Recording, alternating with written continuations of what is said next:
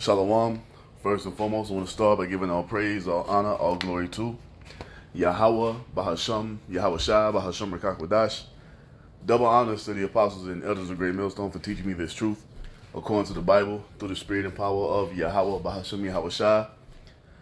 And a sincere peace and salutation to all you hopeful that I came out there, pushing this word in all truth and sincerity, doing the work as Yahweh, Bahasham, Yahawashi has created us to do so he can wake up and seal the elect of the nation of Israel, which consists of you so-called blacks, Hispanics, and Native Americans, and you Israelites who are scattered amongst the heathen nations that may look like the heathen nations, but your father's seed line and your lineage goes back to you being a so-called black, Hispanic, or Native American, one of the 12 tribes of the children of Israel.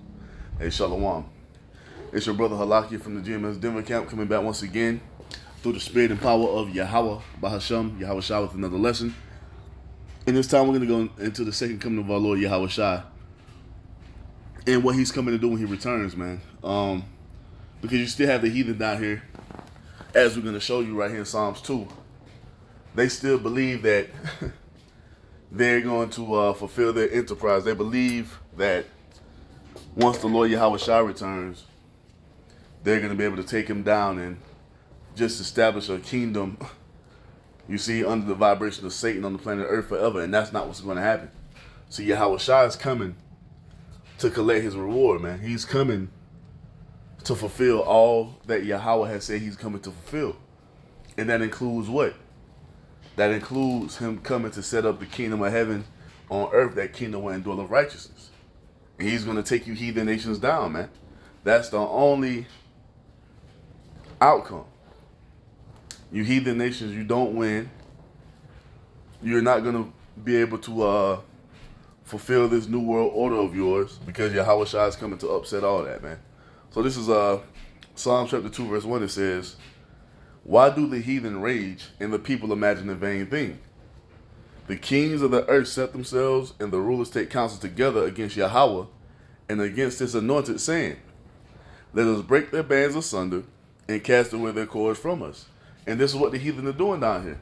You see them making a, a stronger, powerful AI because they want AI to be the God. They want to establish a digital society where they put a uh, RFID, CHIP in your body, which is the MOTB. You see? This is what the heathen want to do. They want all remembrance of the Most High erased from the earth. They want all that stand for righteousness to be put out of the earth. This is the heathen raging, man. Because the heathen, they don't want to be up under the order of Yahweh Bahasham Yahweh Shah. They want to be up under the, the, the, vibration of Satan to just do whatever you want to do in the earth with no rules. You see? Just living lawlessly. And that's not going to happen. You see, because the Most I said he created this earth for it to be ruled in a certain fashion. And that's what Yahawashi is coming to establish, man. And there's nothing that these heathen can do to stop it. Now it goes on to say, verse 4 He that sitteth in the heaven shall laugh, the Lord shall have him have them in derision.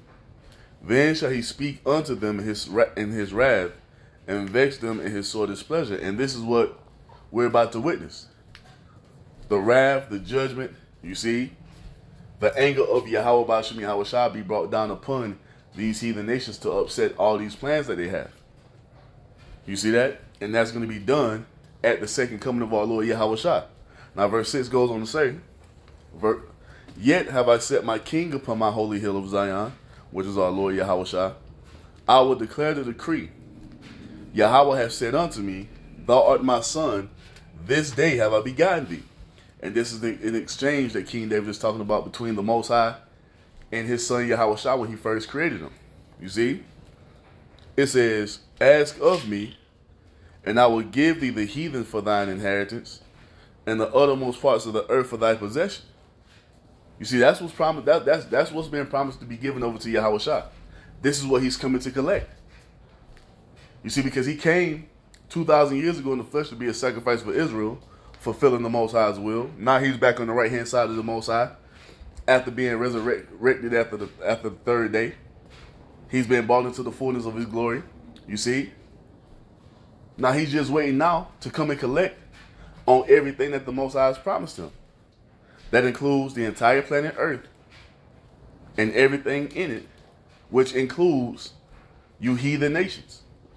Yahawashi is coming back to rule over you, man. And there is nothing that you can do to stop it. we see all your efforts that you're trying to take in the earth to try to stop this from coming to pass, but guess what? This has already been declared to come to pass from the beginning, man. And it has to be. Now, what does the Most High go on to tell you, Habashah? Verse 9 Thou shalt break them with a rod of iron, thou shalt dash them in pieces like a potter's vessel, because what? You, you heathen nations are going to be given over into the hands of Yahawashi and to his people. You're going to be our possession in the kingdom of heaven. This is what our Lord Yahawashi is coming to collect on. You see? And this is just what's written in the scriptures, man. We're not making any of, uh, of this up. Yahawashi is coming to enslave you heathen nations. You see? As it was promised unto him from the heavenly Father. See, these these these pagan Roman Catholic Christian anti-messiahs, they don't believe in what's written, man. Because if you brought this up to vocab alone, he'll deny this. But this is talking about you heathen nations going into slavery, and the one you ignorantly call Jesus Christ is coming back to fulfill this. Let's show you. And not only did the Most High promise uh, Yahweh, not only did the Most High promise this to Yahawashi, Yahweh Shah goes on to tell us in Revelation chapter two, because we know and understand that we're going to be made co-heirs with Him in His kingdom, as it tells you in the book of Romans chapter eight. If we suffer with Yahweh and do all things for His name's sake, it tells us that He's going to make us co-heirs with us in His kingdom. So everything that he has received from the Heavenly Father as an inheritance, we're going to be partaking in that, man, which includes you heathen nations.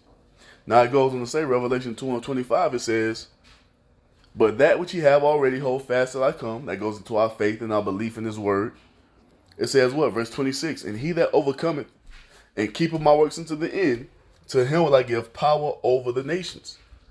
And he shall rule them with a rod of iron, as the vessels of a potter shall they be broken to shivers, even as I received of my father. When? When the Most High first created Yahawashi in the beginning, that's what was promised unto him.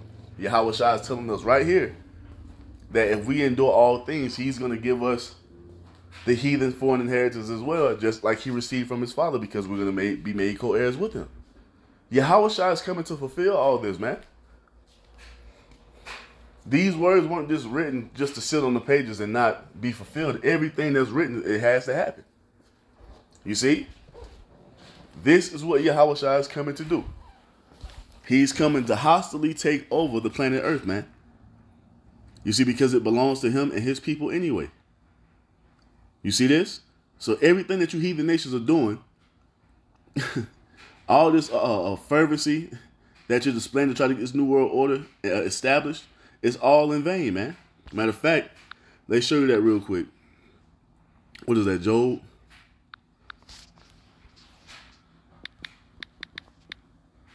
Real quick. Yep, 5 and 12. Yep.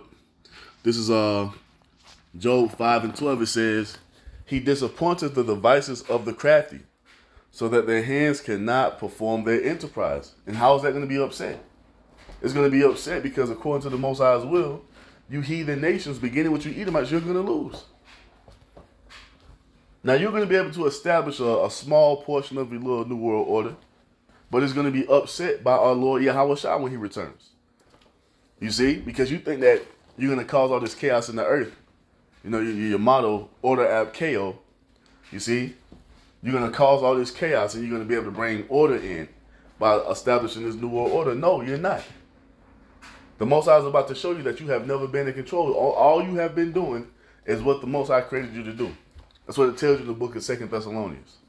Only he who now letteth will let until he be taken out of the way. All you Edomites are doing, right along with the rest of you heathen nations, is is what the Most High is allowing you to do until the what appointed time. That's it. And when it's all said and done, your hands are not going to be able to what? Perform your enterprise, man. Everything that you're doing is in vain. It's for nothing. And we're telling you before it even happens. Yahawashi is coming to upset all your plans. It's not going to work out. You see how you heathen want it to work out because at the end of the day, that's not the Most High's will. For you to establish a full society, a uh, new world order under the vibration of Satan, man. Nah, man. that shit is not to happen. Now, we go here. Oh, Salakia. Let's go here. Let's get uh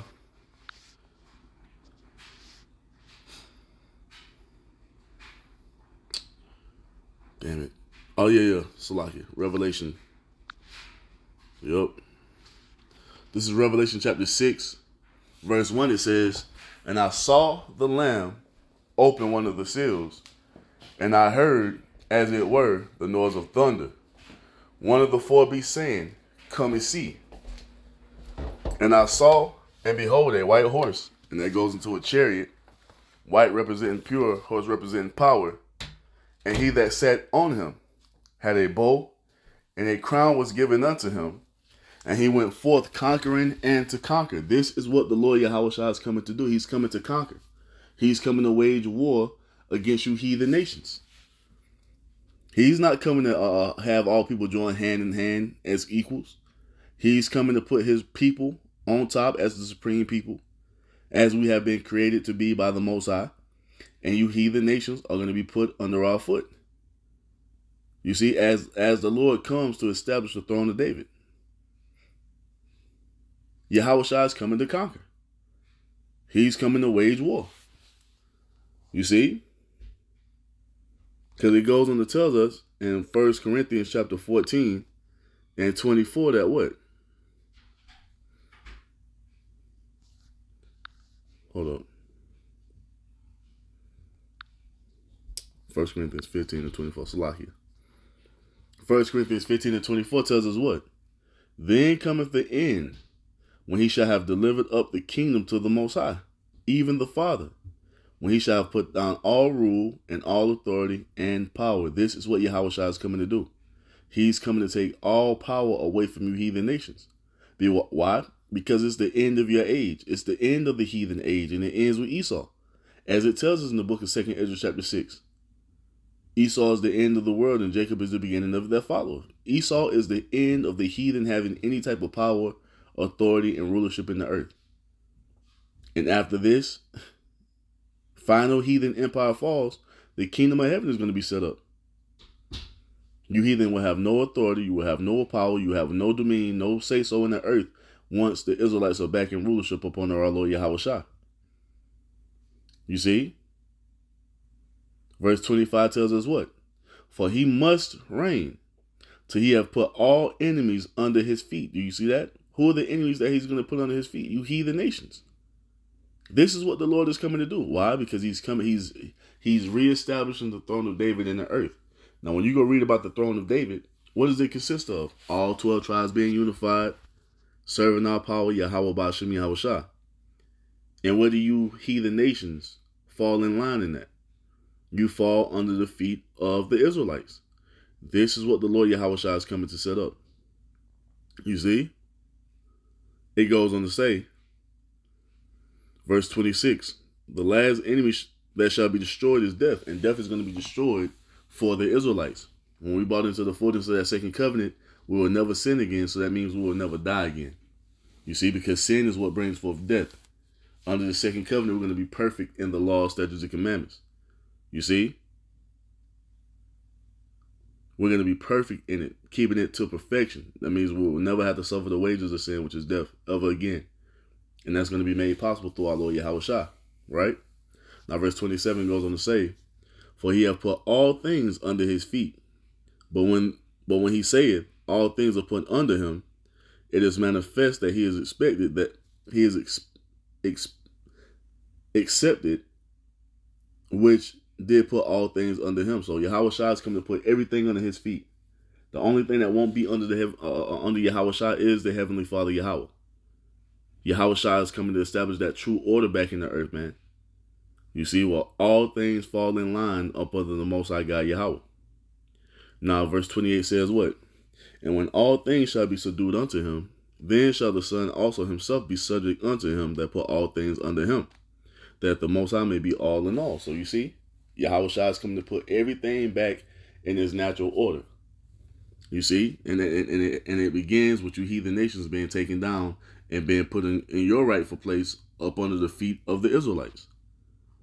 This is just what it is, man. This is the truth of the matter. You can feel however you want to feel about it. This is the truth of the Bible. This is the Most High's will. This is what's playing out.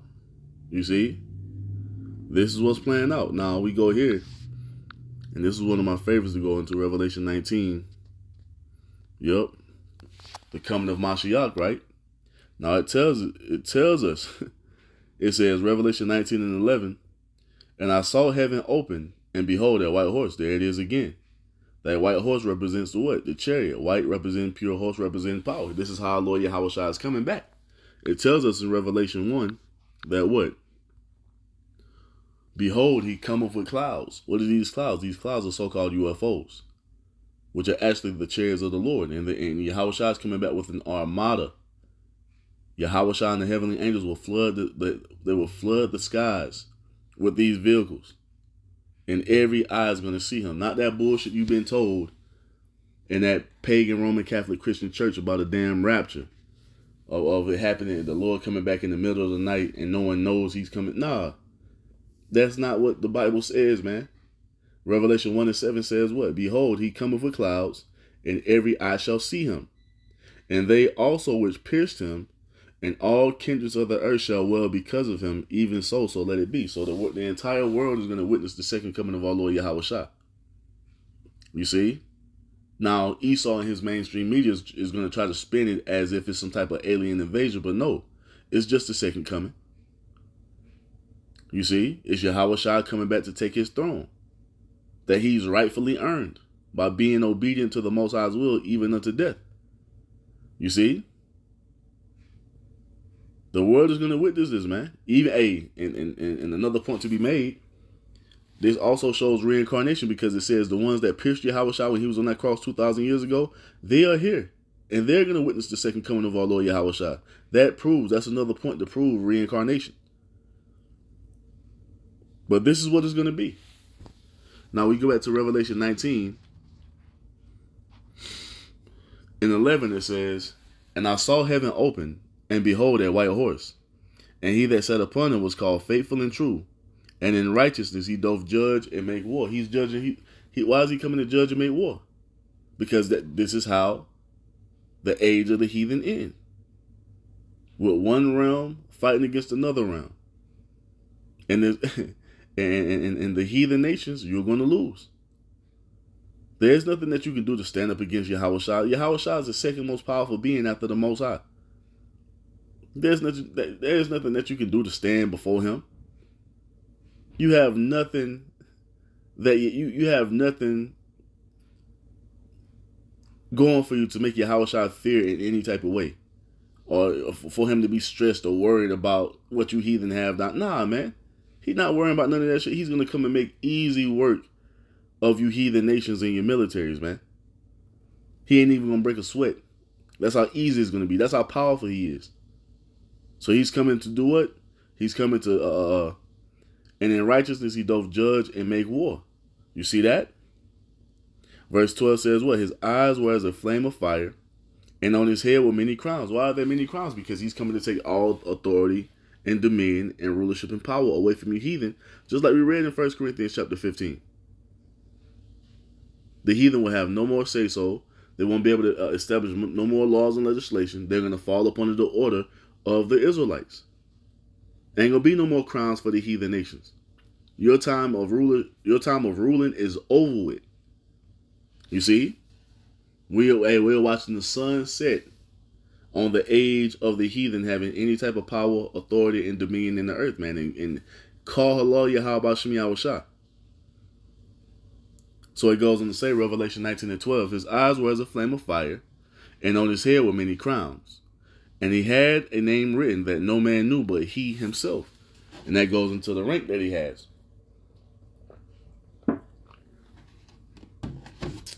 And that rank is only known in the heavens and amongst us who are in the know.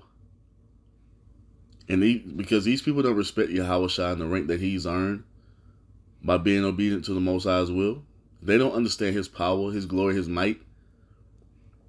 You see, and that, and how do we know this? Because when we talk about Yahweh you see how the people frown up and they just got some shit to say. You see, his his his rank is not respected down here on the earth. You see, but hey, the time is gonna come where, where you are gonna see the power and the authority of our Lord, man. You see, he's coming back on the level. He's coming back. Oh, as he told us, he said he says what? I will not meet thee as a man. He's coming back on a completely different level, man. He's coming back as a, a angelic force to make easy work of you heathen nations, man. Verse 13 says what? And he had and he was clothed with a white he was clothed he was clothed with a vesture dipped in blood, and his name is called the word of the most high. And the armies which were in he- which were in heaven followed him upon white horses, which once goes into those chariots again. Once again, white representing pure, horse representing power, clothed in fine linen, white and clean. And these and that this is talking about the angels. Because Yahawashi is not coming back on some low level type of thing, man. Yahawashi is coming back a as a king should. He's coming back deep, man. He's coming back in a gigantic chariot. And you're gonna have angels and, and, and big chariots coming back rolling up on the earth. To to get things back in order, man. This is where everything is leading. Every day that passes by, we're another day closer to this, man. Now it goes on to say, verse 15. And out of his mouth goeth a sharp sword, that, that with it he should smite the nations, and he shall rule them with a rod of iron. You see that? This is what Yahweh has promised us, man. He's going to rule you heathen nations with the rod of iron. What does that go into? goes into Rhabdos. Strong's G, 4464. Hrabdas. Hrabdas. Right? And it goes to say what? When you get to the context of how the uh, word is being used, it says what? When applied to kings with a rod of iron indicates the severest, most rigorous rule. Because Yahweh is coming to put you heathen nations into slavery. This is a part of his inheritance. And this is a part of what we're going to inherit the heathen nations as a possession. This is not a joke. This is not a game. This is not words to, to just sit on pages, man. This is what's going to be fulfilled. You heathen nations are going to be shackled and chained, and you're going to be in servitude unto the Israelites. As it tells Isaiah 14, and they shall rule over their oppressors. You can't just gloss over that. That's that that's said. That's written. That's what the Most High has spoken. That's a part of his will. It has to be fulfilled. Ain't no getting around it. You heathen nations are going to, into slavery once Yahawashi returns. You see? And we can't wait. It says, and, and he treadeth the winepress of the fierceness and wrath of the almighty power. And that goes into what's said in Isaiah 63. real quick, let's get that real quick to show you what type of timing Yahweh is coming back in, or what he's coming back on. This Isaiah chapter 63, verse 1, it says, Who is this that cometh from Edom with dyed garments from Bozrah? This that is glorious in his apparel, traveling in the greatness of his strength. I that speak in righteousness, mighty to save. This is our Lord Yahawashi returning. You see? Glory is in his apparel. Traveling in the greatness of his strength. That, that talks about the power and glory that Yahawashi is coming back into the earth with. You see? And he's going to make a beeline straight for America, Babylon the Great. It goes in the say, verse 2 Wherefore art thou red in thine apparel, and thy garments like him that treadeth in the wine fat? I have trodden the winepress alone, and of the people there was none with me. For I will tread them in mine anger, and trample them in my fury, and their blood shall be sprinkled upon my garments, and I will stain all my raiment. This is talking. This is Yahawashi talking about what? Casting judgment into the earth, especially here in the land of America. America is the wine press, and you people are the grapes. They tell you Shai is coming back to what? Judge and righteousness, man. He's not coming back on some low level uh peace for all people type of deal, man. Yahweh is coming to put a lot of people to death. It tells us this. It tells us this. Matter of fact, yeah, Isaiah 66. Yeah. Real quick, where is that? Isaiah 66 and 15. It says, For behold, Yahweh Bahasham Yahweh will come with fire, and with his chariots like a whirlwind, to render his anger with fury, and his rebuke with flames of fire. This is this is how the Lord is coming back. Where are you getting this notion that he's coming back on some some fun loving peace trip? No, man. Yahawashi is coming to slay a lot of people. He's coming to judge in righteousness. And there is nothing but wickedness going on here in this earth, especially in Babylon, America. And these people really think that there's no consequence for that. You're, you're sadly mistaken, man. Yahawashi is about to slay and slaughter a lot of people. Verse 15 says what? For by fire and by his sword will the Lord plead, which goes into judge, with all flesh and the slain of the Lord shall be many. Do you hear that? This is what's coming, man. The slain of the Lord is going to be many. Many. A lot of people are about to die once Yahawashi returns, man. And that's what this Isaiah 63 is talking about. A lot of people, especially in the land of America, is going they, they're going to receive judgment from the Lord, man. Verse 4 tells us what? Isaiah 63 and 4. For the day of vengeance is in mine heart, and the year of my redeemed is come. And I looked, and there was none to help, and I wondered that there was none to uphold. Therefore mine own arm brought salvation unto me, and my fury it upheld me. So Yahawashi is in the spirit to redeem his elect from all throughout the earth, and and one third from here, uh, and the one third here from America.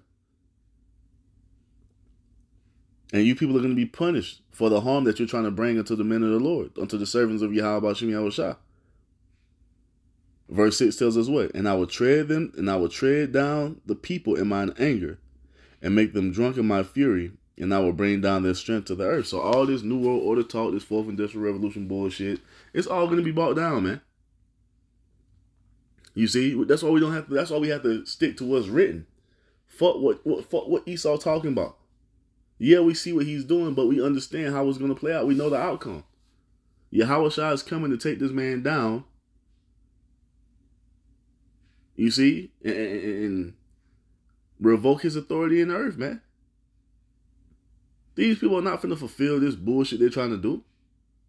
Yeah, we see the we see what they're doing, but we understand how it all plays out. They lose. There's no other outcome. And it tells you this all throughout the scripture, man. The wicked are going to lose, and the righteous are going to prevail, man. There's no, there's nothing other than that that uh, written. There's nothing other than that written, man. Just watch. Yahweh is coming back to shut all this shit down, and he's coming to establish a righteous kingdom in the earth according to his, according to what's written, according to what the Most High has spoken, man. You see? So we don't have to fret and worry about what the fuck Esau is doing. Yeah, we see yeah, we see this devil. We understand and know why he's doing why he's doing what he's doing. And we understand and know that his ass is going down as the most high has spoken, man. Hey, so with that, man, I'm gonna end up by giving all praise, all honor, all glory. Matter of fact, did I finish that Revelation 19? Oh yeah, I gotta finish that Salakia uh, Revelation 19 to 16, it says, and he have on his vesture and on his thigh name written King of Kings and Lord of Lords. So that's what it is. That's the end all be all right there. Our Lord Yahawashi coming to do it, to, to reign in the earth as promised. Nothing other than that, man. It's not going to play out how Esau expects it to play out.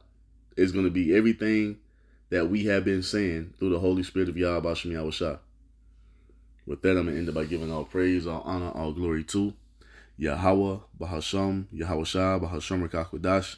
Double honors to the apostles and elders of Great Millstone for teaching me this truth according to the Bible through the spirit and power of Yahweh, Bahasham, Yahawashi. And a sincere peace and salutation to all you hopeful let Akim out there pushing his word in all truth and sincerity, doing the work as Yahweh, Bahasham, Yahawashi has created us to do. With that, I'm going to say Shalom, Wa, Abba, Abba.